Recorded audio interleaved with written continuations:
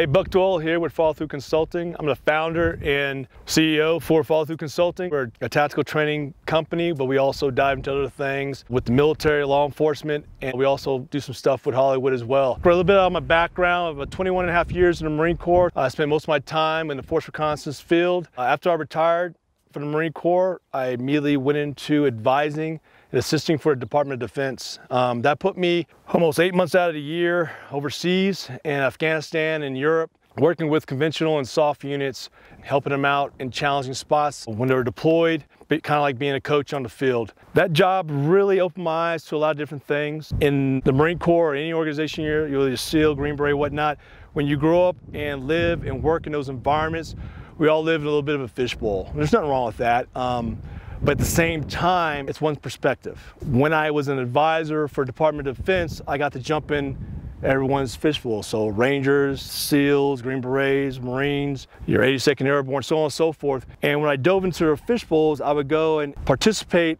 in their operations downrange or in Afghanistan.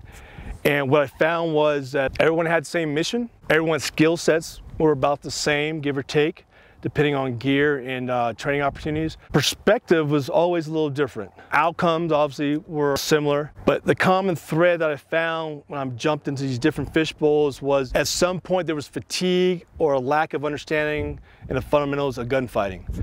And so um, during those four years, I gradually progressed in, in writing down a lot of notes or establishing a diary on some of those common threads. And from there came my three gunfighting tenets, shoot, move, and communicate. It's a phrase or term I grew up with in the Marine Corps and reconnaissance field. I kind of adopted that phrase and I extracted these common threads from my diaries and gave those three tenets some meat, some things to look at and to ensure that I don't compromise. For instance, under shoot, the fundamentals of marksmanship, for what they are. And what I found is the fundamentals of marksmanship a lot of times are dictated off of a piece of gear or a certain technique. So weapons setup, a lot of times individuals will look at a weapon setup and say, hey, we need this, this, this, and on there based off of gear or, or, or type of gear, rather than looking at the capability. What capability do you want out of your weapon setup? And if you peel back and scrutinize the capability, your weapon setup, setup will appear. And in ballistics, you don't have to be a ballistician, but understanding what kind of performance you want out of your bullet. Not in flight, but also when it hits the target. What do you want out of that? And be able to take the limitations on either end and work with it and train to it. Know what you can and can't do to it. Then don't go off it just because it has a bad BC or whatever. And then there's optics. Again, capability. What capability you want to have and then look at your contingencies. Look at your environment. There probably isn't one fit all optic, but you have to look at your environment and look at the left and right of that spectrum you're going to be dealing with and make sure that that optic's to be at best adequate in everything. But in this day and age, there's a lot of ways you can go optimal on your optics by having different optics on your weapon. And you really have to peel back that onion on that. And that's shoot. Then we move on to move. People think, okay, you're going to talk about running and all that stuff. Not necessarily. Moving is just that. How are you to move in a gunfighting environment? Heart rate. Anytime you put any kind of gear on and whatnot, you're going to induce heart rate. And so with induced heart rate, you got to know how you're going to perform with that heart rate. And if you're not spending 80% of your time shooting at that heart rate, then you're really not going to know how you're going to perform. And that goes from your weapon setup maybe being eight pounds.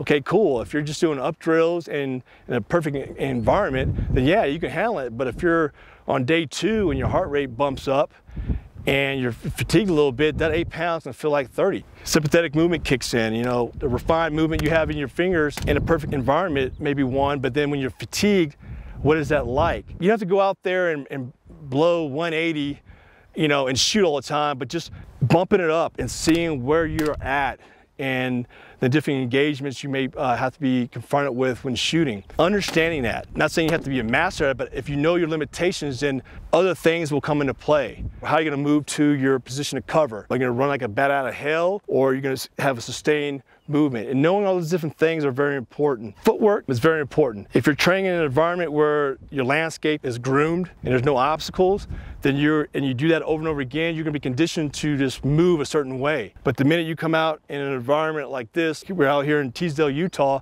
where you have Mother Nature dictating how the earth or the floor is gonna be laid out, you have to take a conscious effort to look down to the ground and understand how you're gonna move. Foot placement, raising your feet, all that good stuff. Your knees, I mean, where are you gonna put your knees? They got cactus out here. So you just can't move, you know, seamlessly out here without being, a, being aware of your surroundings or the ground and what it's gonna do. I prefer being in a raw environment because it's making you use all your senses. It's making you use your eyes, your hearing, you're looking down, you're feeling things out with your hands. You're gonna find that you're gonna have to use your firing hand, your non-firing hand, your rifle to negotiate terrain to get in a good position. So this environment brings reality to how you're gonna move around in a gunfight where square range may not give you all those training aids or prompts to activate your senses of your situational awareness, using your peripheral of things, so on and so forth. I'm not saying one's better than the other, just one lends itself to a different perspective of training. When you talk about uh, movement and gunfight and whatnot, uh, you need to ensure that when you're moving, you're taking your environment in consideration. It'd be no different from a running back doing running drills, being tossed the ball and just doing his different plays in an open field with no one hitting him or not going through his offensive line. And then all of a sudden he does that for, you know, six, to eight weeks. And in his first game, you throw him in there with pads and all of a sudden he's getting hit by defenders. His whole game is going to change because now he's not worried about running the plays. He's worrying about how do I deal with getting hit or how do I anticipate the hit? How do I avoid the hit? You know, all those different things. So when you look at your training environment, you look at your movement, you really have to look at that aspect of it. You know, my environment, what environment am I'm gonna be in, am I making sure that I have those same training aids in there? And some of your basic training aids you wanna look at, it's just how do I avoid obstacles? How I identify points of cover or concealment? Those need to be in there. My search and assess. I may have the shot, but I can't take it because of certain object on or around my target. Those are all things that you have to consider and being out here in Teasdale, Utah in this raw environment, I can do that. There's no what ifs. It's like if a, a shooter asks about shooting through bushes, I can see the target, but I know my bullet's gonna hit. Well, how many shots you gotta shoot to get through those tree limbs and hit your target? Because that is your shot. It's not, oh wait, we're gonna move over here and then shoot. It's just you have to look at your environment for what it is and say, okay, I know if I shoot four or five times to these tree limbs, I'll eventually hit my target. That's good information for a shooter to know, especially if he's going down range and getting a gunfight. And that's what a raw environment allows you to do. There's nothing wrong with square range. It's just that recognizing what do you want to do there on that square range because a lot of repetition get done. There's a lot of movement. There's a lot of things you can do there. But then there's certain aspects that you're not going to get there um, and saying just pretend or act like it's not going to work, especially when you have folks going down range to put their lives and the lives of their battle buddies on line. You want to make sure that developing those senses, they're understanding what right looks like in certain environments. Under communicate, I basically have situational awareness and mindset under that tenant. Situational awareness, we talk about it all the time. It's just that, having that situational awareness, that you understand your environment, you understand how you can move in it. A saying, I heard this a long time ago growing up in the Marine Corps, if you as an individual and as a team have sound situational awareness, you'll probably never get in a gunfight. Um, and if you do, your likelihood of you surviving it are very high. Situational awareness is just knowing your surroundings, knowing, anticipating certain things that pop up, knowing how to move, looking at your feedback. I use feedback as the, one of the biggest takeaways in my class is understanding what feedback looks like when you're shooting at a target. Whether you hit the target or you miss a target, to me it's a win because if you see your hits and your misses, you're reading your feedback. That tells me that you have a strong shooting position. You know, if you see your feedback, you have a good shooting position. You're looking through your optic correctly. All those fundamentals of marksmanship are being executed correctly. Reading feedback is, is very key in situational awareness. It also will tell you your real method of engagement. But how many shots you're gonna need to take on a target is gonna depend on what you see as being your desired effects on target. So if I'm shooting a piece of steel and I want five hits and it takes me 15 shots, good to go.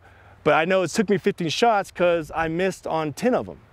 But if I can see the misses, that's still a win. That's still good information because you're seeing and you're maintaining a good body position and all that good stuff. Understanding what feedback looks like on different targets. So if you're shooting still, you get a splash and you get audible. But if you're shooting a rubber dummy at 300 meters, what does that look like? That can be a challenge to establish, but it can be done. If you put clothing on it, uh, what does it look like when the round hits the front of the target? Turn it sideways. Are you getting an exit, exit wound from that rubber dummy? And there's uh, the misses on cement, on dirt, on rocks. What does that feedback look like? Oh, and by the way, if there's wind in your environment and you miss left and right, say you hit the ground, the ground below the target and there's dirt, you're gonna get a wind indicator. If it's wind blowing left, right, how strong the wind's blowing. That's information for that, that environmental consideration at the target. There's so many different things about situational awareness that you can go into, but you gotta have the right training venue. Range estimation. There's a lot of ways you can, you can establish range estimation. There's range finders, there's milling things out, measuring stuff, so on and so forth. But in certain environments, or certain situations, time may not permit you to do all that. So if you're accustomed to shooting 200, 300, 500, all those different ranges in raw environments, you're gonna establish that keen sense of looking at distance and being able to establish how far that is. And if you are, are well versed on your optic and your bullet you're shooting, you'll be able to know what to hold and how to get around on or near target first, second round shot. Again, that takes practice, but to use an analogy, John Elway in his prime, he didn't have a rangefinder when he was throwing to his receivers, especially when he was going leaving the pocket. He would leave the pocket, identify a receiver he wanted to throw to, and he would just release it. What he did it was he just threw that ball in that scenario over and over and over again until he established what right looked like, not only visually, but physically. It's practice, you can do it. I'll do, I'll give credit what credit's due. My long range instructor, Todd Hodnett, is the one who taught me that. Because he would go out there and shoot any course of fire anywhere on his property and shoot it and hit the target when first round hits. And we're talking, how do you do that? And where, why didn't you range it? How did you mill that out so fast? It's like, I shoot this every day, guys. And if you shoot it every day, if you look at it every day, it becomes familiar. It'd be no different from you throwing a, a piece of paper in, your trash can in your office. It becomes your shot. Technical gear is very important. It helps that a hell a lot, but there's gonna be times where you're not gonna be able to use it or it may not be appropriate in a certain in a situation. So establishing your senses and able to establish that situation awareness when it comes to range, feedback, environmentals is very key. And you have to be in an environment that allows you to do that winter, fall, summer, spring. These are the fundamentals and principles I feel that need to be mastered in order to be successful and to come back home to your loved ones and bring your boys back home from a gunfight.